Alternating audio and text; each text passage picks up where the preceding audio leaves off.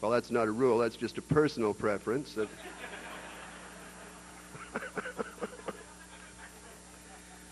Political jokes are limited. For example, if I were to come out here and tell a joke that knocked Brian Mulroney, I would be in danger of offending up to 15% of the population.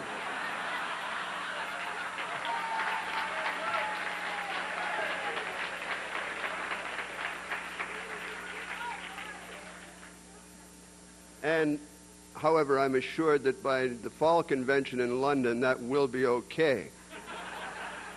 as long as Mr. Mulroney himself is not in the audience. I have uh, canvassed a number of people for humorous sallies with which I could regale you, and nobody actually gave me any except Neil Aitchison himself. He was kind enough to share some material with me. I'm not going to announce in advance which is Neil's material. As soon as I see what your reaction is, I will announce whether it was his or mine.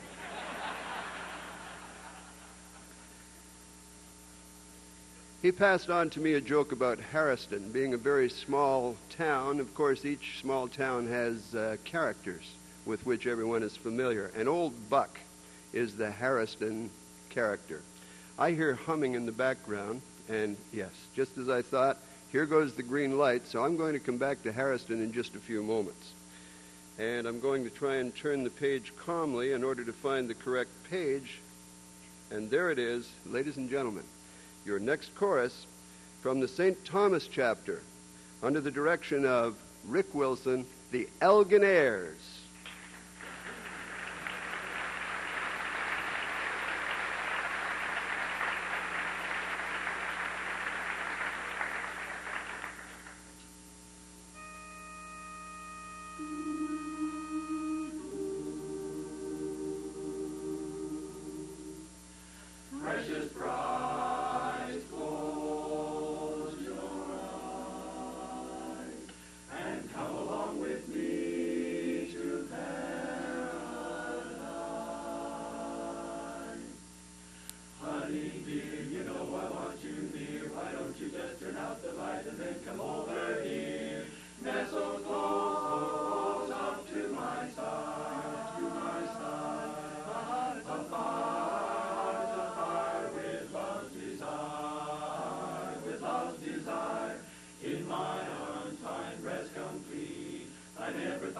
money, you know. you some time side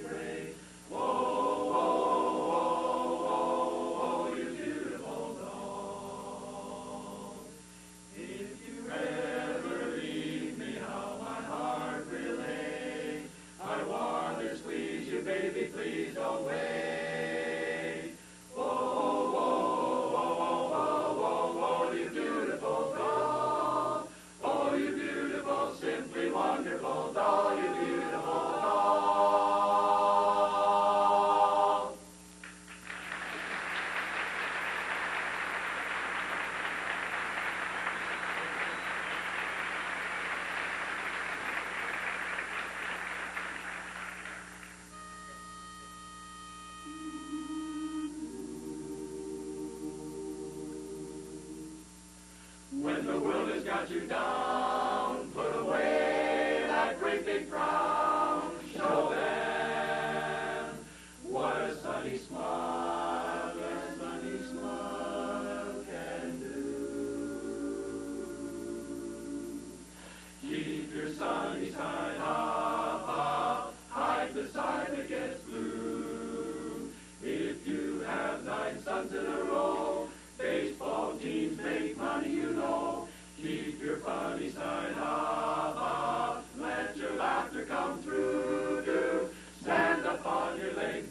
To Friday, keep your sunny side up.